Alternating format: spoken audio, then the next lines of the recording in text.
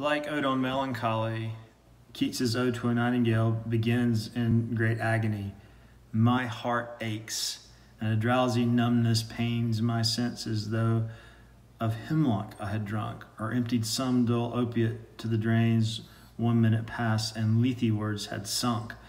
There's the aching of the heart, but then there's a feeling that the poet might actually be, be poisoned um, and on the verge of, of sinking into death, or, or at the very least uh, is, is, is intoxicated um, by some dull opiate. Not intoxicated, that's not the right word. He's being shut down.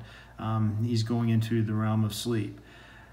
But just when, when the, the poet seems to be on the merge, uh, verge of like going into, the, into unconsciousness, into darkness, suddenly appears in his psyche anyway, in his mind, a bird, um, where he says, out of nowhere. Tis not through envy of thy happy lot, um, but being too happy in thine happiness, thou light-winged dryad of the trees, in some melodious plot of beechen green and shadows numberless, singest of summer in full-throated ease. So there's a feeling that, okay, I'm in pain, but this bird suggests to me um, a way out of the pain. The bird has everything I don't. Um, it is, it can sing whenever it wants to. Uh, it gets to live in a realm of green. Uh, it, the bird in, indwelling in shadows numberless lives in a, in, a, in, a, in, a, in a place of pure possibility. And it is a bird of summertime. So vitality, uh, beauty, uh, possibility, these are the virtues that the depressed and perhaps dying poet associates with this bird. So this is one of the this is the primary tension in the poem. It's between um, the poet suffering his own physical world as one of great agony and him imagining the bird as a way out of the agony. And we see this very clearly in, in the second stanza where the bird goes away, but the poet lays out this fantasy of, of escaping his, his current painful situation, not through the song of the bird, but through other means. He says, Oh, for a drought of that vintage uh, that had been cooled a long age in the deep delved earth, tasting of flora and the country green, dance and Provençal song and sunburnt mirth. Uh, uh, oh, for a beaker full of the warm south, full of the true, the blushful hippocrene, with beaded bubbles winking at the brim and purple stained mouth. Uh, that I might drink and leave the world unseen, and with thee fade into the forest dim. So, well, maybe I can get with the bird through drinking something, through drinking wine. Uh, maybe that will release me from my pain. Well, what kind of wine? Is this the kind of wine you can buy at the grocery store? Um, no. Um, it's been cooled a long age in the deep delved earth, and it tastes of Provençal and country song and sunburnt mirth. So it's a kind of idealized wine that might, upon drinking it, lead the poet out. But note that one of the features of the wine is it's very tasty and it, it, it, it's, it's sensually pleasurable. Uh, the poet doesn't want to sip daintily the wine. He wants to quaff it back hard and get a, get a wine mustache. As he says, I want a purple stained mouth. So this gives us a feeling early on that, well, wait a minute. The world, that physical world that hurts the poet so much that he wants to escape, well, this same world gives the poet sensual pleasure too. So there's an ambiguity suggested in the poet's relationship to this physical world. Well, he doesn't quite know that yet. So in stanza three, he says, Look, I want to get out of here. I want to fade away into the forest with you, bird. Why? Because here is a place where men sit and hear each other groan. Um, what we're but to think is to be full of sorrow and leaden eyed despair um, where uh, the youth grows pale and spectre thin and dies, and beauty cannot keep her lustrous eyes, or new love pineth in beyond tomorrow. This world's a terrible place. Um, we grow old and die. Young men get sick and die. Uh, beauty fades. Love fades. So I'm going to fly away with thee. But maybe Bacchus isn't the way. Maybe wine isn't the way to get with thee. Maybe poetry is. And that's what the poet explores in stanza four. That maybe I can imagine um, a poem uh, about you, about you, bird, uh, nightingale, being uh, uh, in, in, in the realm of the moon. Uh, and we have this lovely poetry, right? I'm already with thee. I've imagined myself with thee, and tender is the night. This is the line that, of course, F. Scott Fitzgerald used um, to title one of his novels. Tender is the night, and happily the queen moon is on her throne, clustered round by all her starry fays. But here there's no light. save what from heaven is with breezes blown through verdurous glooms and, and winding mossy ways.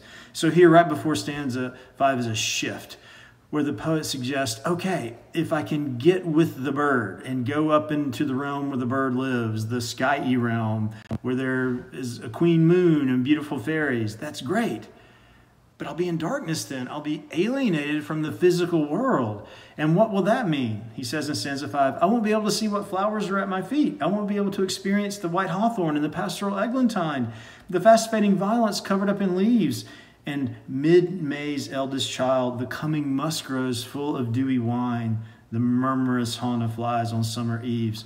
So I'll be alienated from the physical world, the sensual pleasure of the physical world. So, what is the poet to do?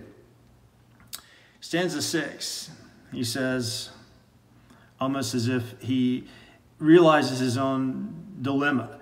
Uh, he loves a world that hurts him, the world that hurts him, he loves. So, what to do? Darkling, I listen. He returns to himself, um, listening to the nightingale, as if, as if his, his flights of fancy all, all up into the moon, he's pulled them back in. Darkling I listen. Dark, I'm in the dark, but also darkling suggests my soul is dark too. That dark word darkling is a very important word in King Lear. Um, also, Thomas Hardy uses it in his poem, The Darkling Thrush. Darkling I listen, and sometimes I've thought about killing myself. I've been half in love with easeful death and called him names in many a mused rhyme. So maybe I'll just kill myself. That maybe that's a way to escape. Maybe I shouldn't escape through wine. Maybe I shouldn't escape through poetry. Maybe I'll escape through su- Then he goes, Well, wait a minute. If I did that, you'd still sing, Nightingale. And I would not hear. To thy high requiem, I would become a sod.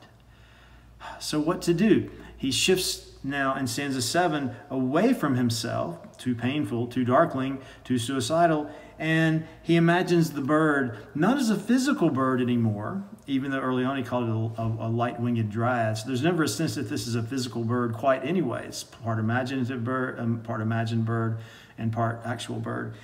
He says, You were not born for death yourself, immortal bird. You've been around forever. You've been around um, in the age of, of the Bible. Um, when sad, when Ruth was sad, sick for home, um, crying amid the alien corn. And you were around not even in in, in, in the world of fairy, um, where there you were there in perilous seas and fairy lands forlorn. So again, he's throwing his imagination out um, beyond his physical condition and imagining the bird uh, being both spatially infinite um, and temporally uh, essentially infinite too. It transcends space and time. It transcends the pain of space and time. Forlorn, forlorn. And that word, very word, the poet says in, this, in the final stanza, is like a bird. I'm sorry. that word forlorn is like a bell, tolling him back to his sole self. So he's back where he began in the beginning of the poem with the aching heart. Um, all these flights of fancy ultimately have not allowed him to escape his pain. Here he is with an aching heart and he says, Look, the fancy cannot cheat so well um, as she is famed to do. I cannot imagine myself out of this pain. I can't imagine myself up on the moon with you. Um, and as he's saying this to himself, he hears the bird's song moving further and further and further and further away, past the near meadows, over the still stream, up the hillside, and now it is buried deep in the next valley glades. And then these final two lines, which throw the whole poem in doubt. Um, was it a vision? or a waking dream? What just happened? Um, in, in, in, in thinking about the bird in these ways, did I have a kind of vision, of insight, of revelation? Have I learned something new about myself and the world? Or was it a waking dream? Was I just in a hypnagogic state uh, where I was fading in and out of fact and fantasy and, and haven't really learned anything, but I've just been in a, in a, in a, in a, in a murky world? Well, the last line fled is that music. That's all I know. the music's gone. The nightingale's gone. Do I wake or sleep? Oh, very haunting final line. Um, has the poem been a dream? Has the poem been waking? At the end of the poem, has the poet um, gained insight or has the poet simply indulged in a kind of dream? We don't know. So we, like the poet, are faced with a mystery. The poet is asking himself, What is the nightingale? Um, is it a real bird that I want to experience sensually, as I want to drink wine and, and, experience it sensually? Or is it a mythological bird that might somehow take me out of my personal pain? What is it? He, he doesn't quite know, just as we don't quite know what this poem was a revelation or a dream. But just as the poet is, is activated into thought by the bird, so we are activated into thought by the poem. Remember, the poem opens with the poet feeling numb um, on the verge of unconsciousness. But the poem shows a very active, agile mind come to life. So even though the bird itself remains ambiguous, ultimately that ambiguity is good because it inspires rich, varied, dynamic thought. And just as the poem itself, though ambiguous at the end, this is good because it activates us to think about the meaning of the poem, and we ourselves are shocked out of some kind of interpretive numbness.